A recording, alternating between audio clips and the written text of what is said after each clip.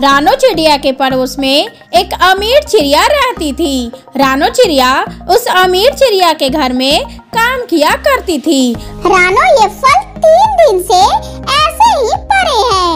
ये फल तुम ले जाओ तुम्हारी बेटी खा लेगी। तभी रानो चिड़िया अपनी मालकिन से कहती है नहीं मालकिन मैं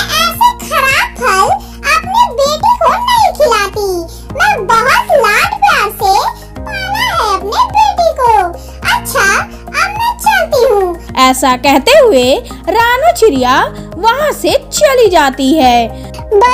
चिड़िया। काम करती है दूसरों के घरों में और नखरे तो देखो इसके। गुल्ला गुड़िया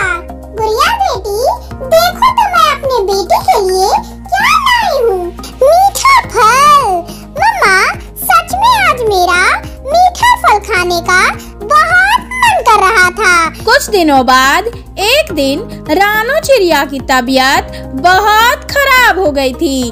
मम्मा, आज आपकी तबीयत ठीक नहीं है।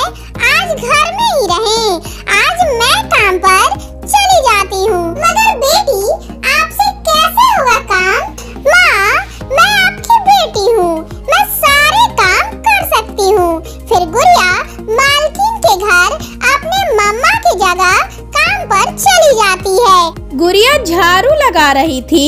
आंटी आंटी यहाँ मेरी डायरी थी वो कहाँ रखी है? वो सामने मेज के ऊपर। ऐसा कहते हुए गुड़िया अपना मुँह टुन्नू के तरफ़ करती है।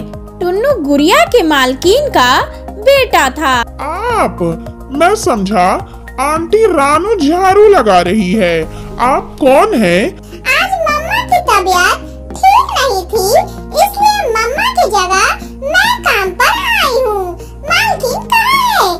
मम्मा बाज़ार गई हैं और आपने इतनी सी उम्र में सारे काम सीख लिए। मम्मा कहती है लड़की पक्षी के सीखे हुए काम ज़िंदगी में काम आती है। मेरा नाम टुन्नू है। और मेरा गुड़िया। अब मैं अपना काम कर लूँ। हाँ हाँ करे। मैं अभी बाहर जा रहा हूँ। थोड़ा हिचकाता हुआ टुन्नू बाहर चला जाता है और गुड़िया अपने काम में लग जाती है। शाम को गुड़िया अपने घर चली जाती है। मम्मा, मालकिन तो आज घर में नहीं थी।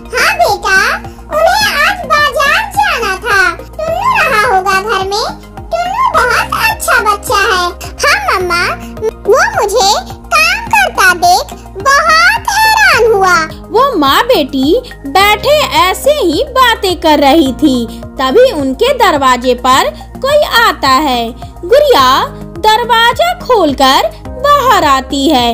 क्या आंटी घर में है? मुझे मम्मा ने भेजा है। मुझे आंटी से मिलना है। फिर गुड़िया टुन्नू को घर के अंदर ले जाती है। आंटी मम्मा ने कहा है मुझे गुड़िया का काम बहुत पसंद आया है। जितने दिन आपकी तबीयत ठीक नहीं है आप गुड़िया को ही काम पर भेज दिया करे। हाँ बेटा मालकिन से कहना दो चार दिन तक गुड़िया ही काम पर आएगी। टुन्नू चला जाता है दूसरे दिन गुड़िया घर के काम कर रही थी कि मालकिन अपने बेटे टुन्नू से कहती है टुन्नू बेटा जाओ जाकर झरने से दो गुलाब के फूल तोड़कर ले आओ। मम्मा मगर मुझे झरने का नहीं मालूम कि झरना कहाँ है। गुड़िया गुड़िया जरा जाना टुन्नू के साथ तुम्हें तो झरना मालूम होगा। जी मालकिन फिर गुड़िया टुन्नू के साथ झरने पर जाती है। वहाँ से टुन्नू गुलाब के फूल तोड़ लेता है और गुड़िया से हिचकते हुए कहता है वो वो कल से मैं आपसे एक बात करना चाहता हूँ। बताइए बताइए क्या बात है? आप मुझे बहुत अच्छी लगी हैं। मैं आपसे शादी करना चाहता हूँ। ये सुनकर गुड़िया हैरान हो जाती है। आप भूल गए कि मैं आपके घर में काम करने वाली हूँ। तो तो क्या हुआ? मैं मम्मा से बात कर लूँगा। आप बताइए आपको मैं कैसा लगा? गुड़िया गुलाब का फूल टुन्नू के तरफ़ फेंक कर वहाँ से भाग जाती है। टुन्नू फूल उठाकर गुड़िया के पीछे पीछे जाता है। सामने वाली पेड़ पर बैठी गौरी कौवी ये सब देख और सुन रही थी।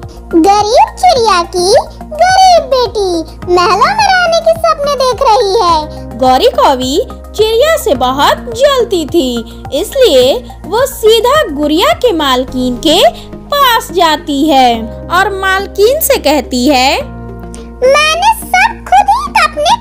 से सुना है। और वो मक्कार चिड़िया इतनी सीधी नहीं है, जितनी तुम उसे समझ रही हो। मैं अभी घर जाकर अपने बेटे से बात करती हूँ। बात नहीं करनी, गुस्से से बात करना और भगा दो उस गरीब चिड़िया को अपने घर से। आगे इस कहानी में चिड़िया की बेटी का टुन्नू के साथ शादी होता है या नहीं ये हम नेक्स्ट पार्ट में जानेंगे। नेक्स्ट पार्ट देखने के लिए मेरे चैनल को लाइक और सब्सक्राइब करना बिल्कुल भी ना भूलें।